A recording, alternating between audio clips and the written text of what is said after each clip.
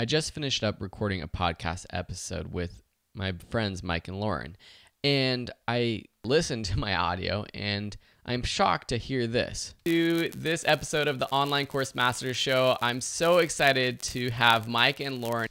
There's this crackling sound that I do not know how it got there. It's never happened before. I've used Skype Ecamm recorder many, many times and never had this issue.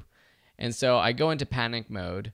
And then I remember that in Premiere Pro, there is some sort of decrackling, de sort of click removal effect.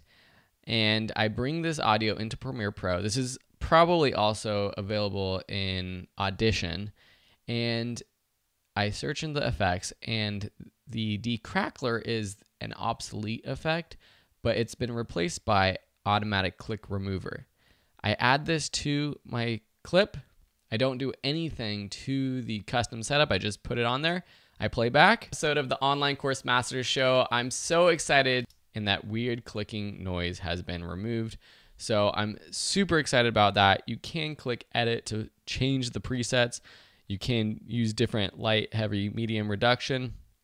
I've just used the default but this is a great way to save yourself if for some reason you are getting some sort of clicking or crackling noise. I know this can happen when you're using a wireless microphone and transmitter and the receiver are too far away and you get some of that crackling noise.